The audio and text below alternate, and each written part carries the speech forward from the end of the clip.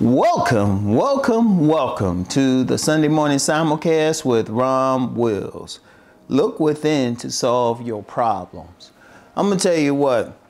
One of the things that uh, everyone has to do when they having any problems, they gotta look within first.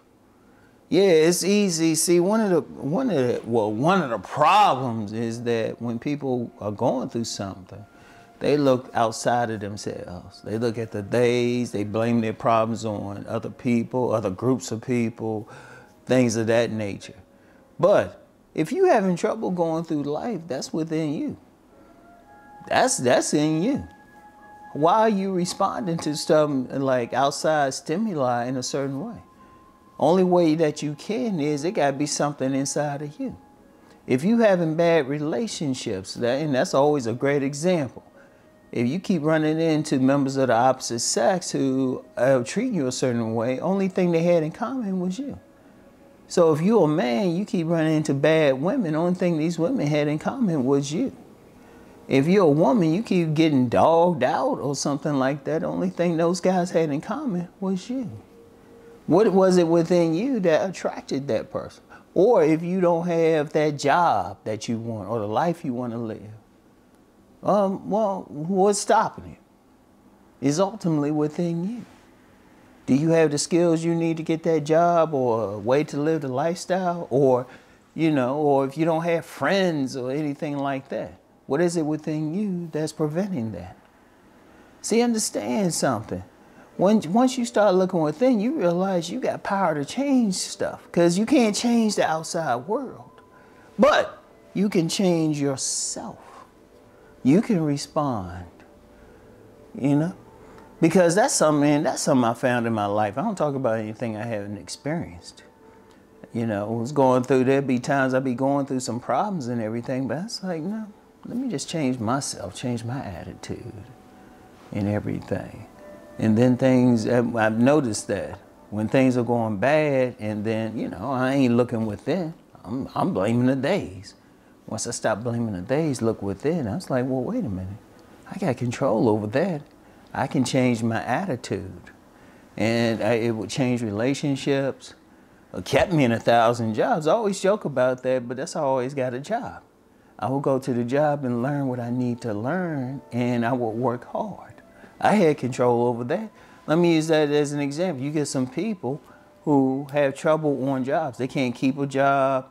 Uh, you know, they're always having trouble, but I can always point to them. I can always point to them. Like I've been in management positions when somebody had a trouble, it was always them. It wasn't the job itself. Because if you're on a job, they just want you to do the work. And yeah, you're going to have some people who are going to try to be problematic, but then you can look them in the eye and say, no, nah, I'm going to do my job. I've done that on several jobs. Or if you're talking about relationships, you got to look, okay, what is it within you that's having all these problems? Because then once you deal with that, you can deal with everything else. You can deal with everything else. Even when something outside of you happens, even when something, okay, this ain't within you, something outside of you, how are you responding to it? Are you responding in a negative way or a positive way? Whenever something outside of my control happens, I'm like, okay, what can I do to solve this problem? I do, not somebody else. What can I do to solve the problem? Because that's where you have 100% control is over yourself, over your thoughts, over how you respond to the world, how you moving through the world. And yeah, there are plenty of fences. The days, hey, they try to control you and everything. But what happens when you say, nah, I'm not going to allow that mechanism to control me? Because you got control over your own thoughts. You can respond a different way. You can look to solve it in a different way. It's like all you have to do is say, well, okay, I'm having this issue. What can I do within to solve it? What can I do within? How can I change myself? How can I change myself to get a positive relationship? What am I doing? You know, what can I do to make more money? What can I do to live in a better place? You know, one problem, you might live in a bad neighborhood. It's terrible. It's really stressful. Okay. Yeah, the neighborhood is bad, but you're in that neighborhood. What are you doing to get out? What are you doing to get out? And more than just looking, okay, say you need more money. Okay, what are you doing? Are you getting a certification? Are you looking at stuff that you can make more money? Are you looking for another job? You might need a part-time job. You, you need it. You know, what skills are you learning so that you can bring in more money? And then what are you doing? Are you looking around? You know, and even when you in that bad neighborhood, are you behaving in such a way where people don't want to bother you? Because I've seen that happen. I've seen that. I remember uh, back in 1984, summer of 84, I was working in one of, at the time, one of the worst neighborhoods in uh, D.C., helping to clean the streets and everything. It was bad. And I ain't gonna call the uh, neighborhood out, but it was bad at the time. And I remember like all that, uh, you know, had projects over there, small houses.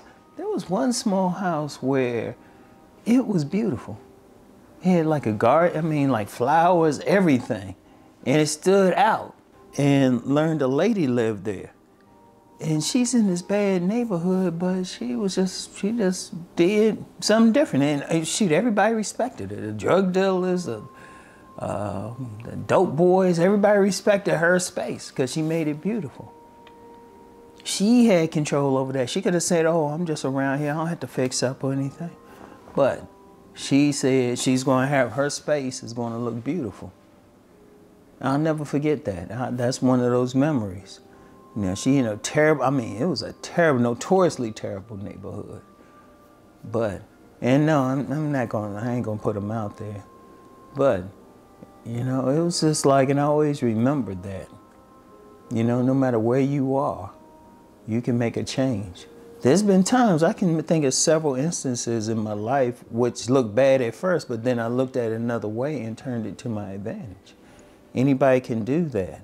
See, here's the thing. When you blame an outside, see, you don't have control over what outsiders do to you, what the outside world. You have no control over that but you do have control over your response to it. So even when the outside world brings a problem, you have control over how you're going to respond to that problem. And understand that that's what gives you power. And that's how you got to be. That's how you got to be going through life because there's always going to be something. I don't care who you are. I don't care what your racial background is, your financial background. There's always going to be something. But if you want to solve the issue, you got to look within. All right? Look within. Ain't no ifs, ands, and buts. All right?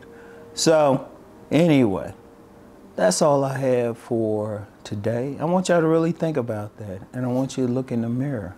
And, you know, people who follow me know I've been on that thing. I've always been on that thing. Look within. All right? So, anyway, that's all I have for now. Yeah, keep rising to become the best version of yourself. Peace and blessings, everyone.